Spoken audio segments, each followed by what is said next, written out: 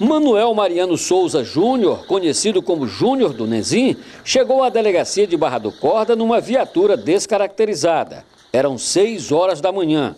Ele foi preso por volta das 5 horas nesta casa de um amigo. Aqui ele estava escondido desde a noite anterior, logo após ter a prisão decretada pela Justiça.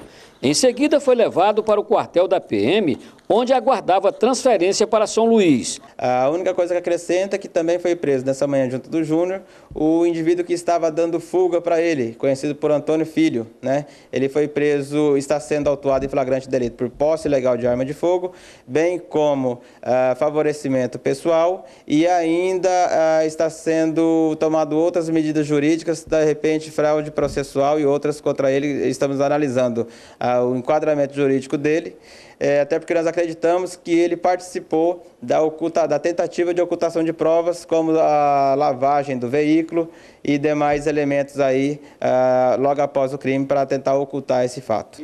As investigações apontaram para outros dois suspeitos de participação no assassinato do ex-prefeito Nenzim, que já estão na cadeia. O vaqueiro da fazenda, Luzivan Rodrigues da Conceição Nunes e Francisco David Correia de Freitas, o Dave.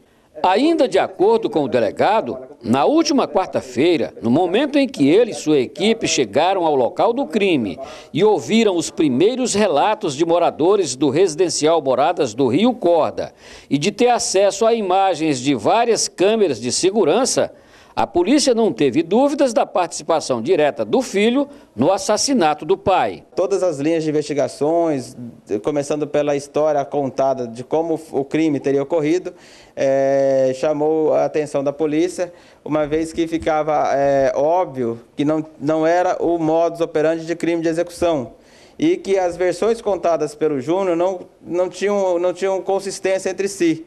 É, a questão do disparo, um disparo único, um disparo que aconteceu é, num local limpo e ele não teria visto, o autor não teria visto aí vulto, se estava a pé, se estava de carro, se estava de, de, de motocicleta.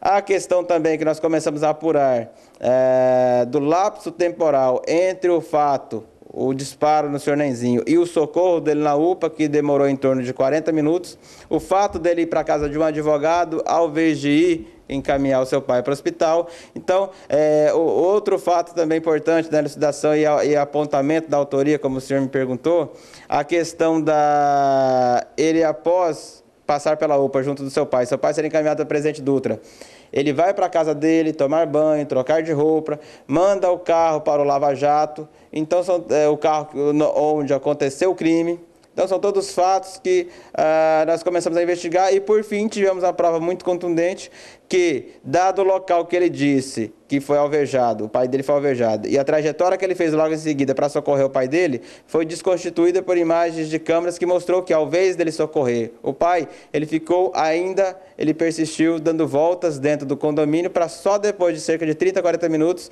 ele se dirigir à UPA, momento provavelmente que o pai dele já estava sem vida, ele deve ter, então, a polícia suspeita que ele ficou rodando com o senhor Nenzinho até que esse não apresentasse mais sinais vitais. A polícia investiga agora a participação direta de cada um na empreitada criminosa e qual dos três teria efetuado o disparo. Renilton Ferreira afirmou que a motivação do crime está relacionada ao furto de cabeças de gado. As investigações apontam indícios de que pelo menos 600 cabeças de gado, aproximadamente, teriam sido furtadas nos últimos tempos, é, em especial dessa fazenda situada no povoado Naru, na qual ah, era vaqueiro o Lu, Luzivan, conhecido por Luizão, que também está preso. Por isso que ele foi preso, inclusive, nessa questão. É, é uma das motivações da prisão dele. Né? E na data de, de, da morte do seu Nenzinho, ele já havia programado no dia anterior a ida a essa fazenda justamente para conferir o rebanho, onde na última contagem dele que já estava sendo furtado gado, e ele já tinha percebido isso, estava muito estressado com isso, ele chegou para o vaqueiro na última conferência, conferiram 635 cabeças. Ele assinou essa nota, entregou para esse vaqueiro Luizão e falou: na próxima conferência eu vou fazer por este documento assinado por mim. O senhor guarde e quando nós virmos é, novamente, o senhor vai me apresentar esse papel e tem que estar a mesma quantidade de gado. Ontem nós estivemos nessa fazenda para conferir o gado e dessas 635 cabeças foram encontradas apenas 81 cabeças de gado, né? Um sumiço de quase 600 cabeças só nessa fazenda nos últimos tempos. Por volta das 10 horas da manhã desta sexta-feira, Júnior Dunezin é colocado num helicóptero do Grupo Tático Aéreo e levado para a Secretaria de Segurança Pública do Maranhão, em São Luís.